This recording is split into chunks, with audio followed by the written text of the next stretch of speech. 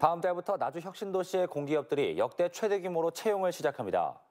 올해부터는 지역인재 채용 의무 할당제까지 도입돼 얼어붙은 지역 취업 시장이 활기를 띨 것으로 기대됩니다. 이계혁 기자의 보도입니다.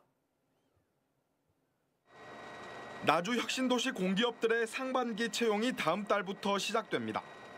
사장 공백 기간이 긴 한국전력은 아직 채용 인원이 확정되지 않았지만 기존 채용 규모로 볼 때 1000명 안팎이 될 것으로 예상됩니다. 3월 말 채용에 나서는 한전 KPS는 122명을 선발하기로 확정했고 한전 KD에는 3월과 하반기에 각각 40여 명씩 선발할 예정입니다. 대졸이랑 고졸이랑 합해서 122명이라고 하고요. 하반기는 100명 정도.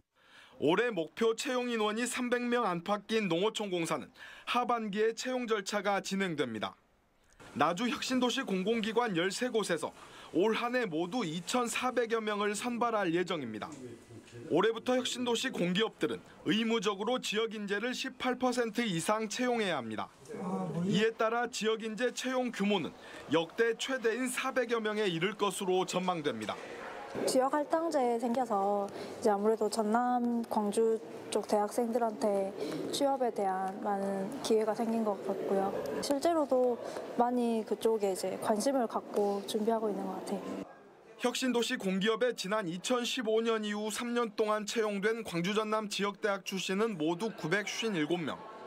올해부터는 해마다 채용 인원이 대폭 확대될 것으로 전망되면서 지역 취업 준비생들의 기대감이 커지고 있습니다.